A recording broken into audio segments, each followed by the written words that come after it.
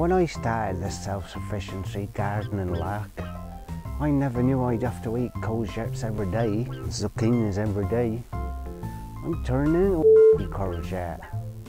And courgette fritters, courgette cakes, courgette pickles, sliced courgettes, grated courgettes, courgette salad.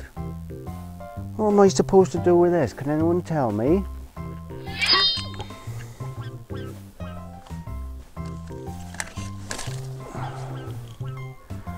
Belinda.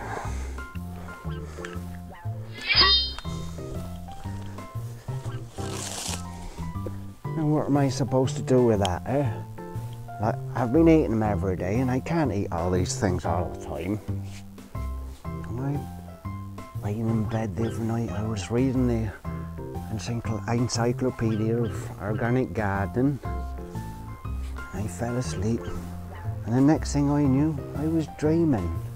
I was dreaming about these courgettes. I eat them every day. Every day I'm eating them.